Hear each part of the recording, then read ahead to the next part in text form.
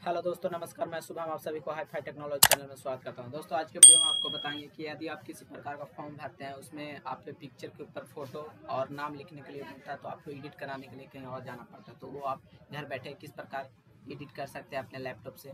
तो चलिए, वीडियो का स्टार्ट करते हैं। सबसे पहले आपको वीडियो के डिस्क्रिप्शन बॉक्स में लिंक मिल जाएगा, वहाँ से डायरेक्ट आपको इसका ऑफिशियल वेबसाइट पर चले आना जैसे कि एडिट कर डॉट कॉम है। तो यहाँ पर आने के बाद आपको यहाँ से अपना फ़ोटो सेलेक्ट कर लेना है।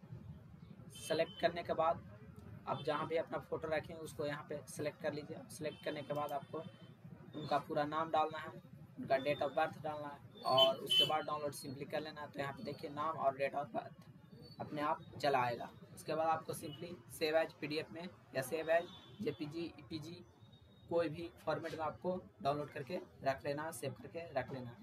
तो इस वीडियो में यही छोटी सी जानकारी थी, अगर वीडियो पसंद आए तो वीडियो को लाइक करके चैनल को सब्सक्राइब करें thank you for watching this video.